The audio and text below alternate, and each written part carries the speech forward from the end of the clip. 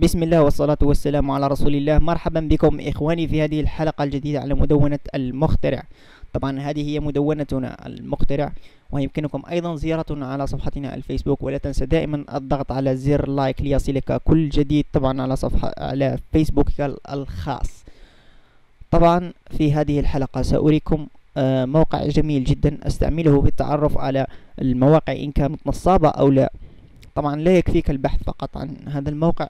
إن كان نصاب أو لا يمكنك فقط كتابته هنا في هذا المستطيل والضغط على تشيك ناو.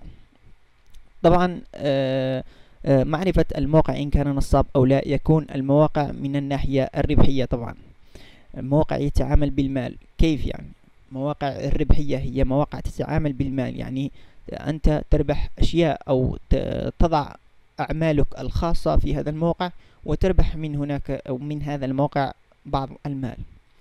والمواقع ال market أو مواقع ال shopping المواقع التي آه، تكون هي عبارة عن متجر إلكتروني أو متجر عفوا متجر أي متجر يعني لا يهم إلكتروني أو لا آه، تشتري منه بعض المنتوجات.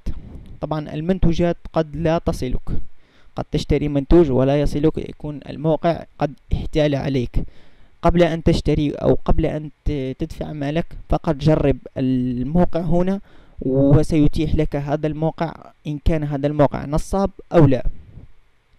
طبعا هذا الموقع ليس نصاب عفوا.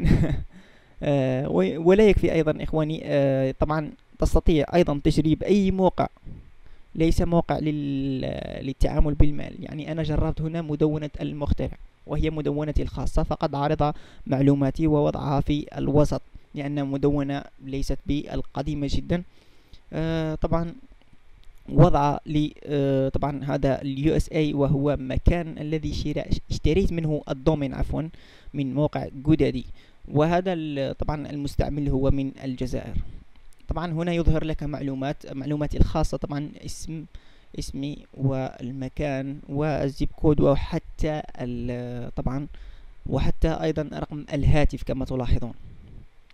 يمكنك أيضا استعمال هذا الموقع من ناحية التعرف على هذه المدونة ومن صاحبها وما هو رقمه وما هو طبعا معلومات كثيرة جدا سيظهرها سيظهرك أو سيظهرها هذا الموقع عفوا لك.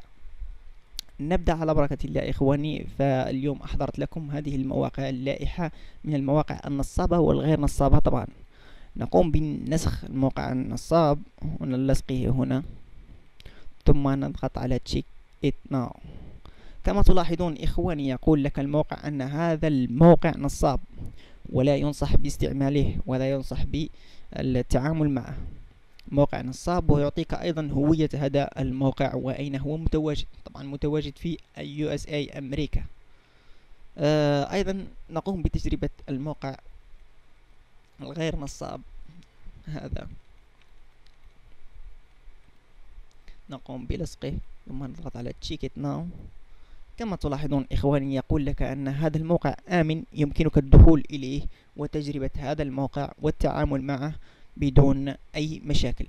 أتمنى من صميم القلب أن تكون هذه الحلقة قد أعجبتكم إخواني. شكرا والسلام عليكم في حلقة جديدة أخرى على مدونة المختلف.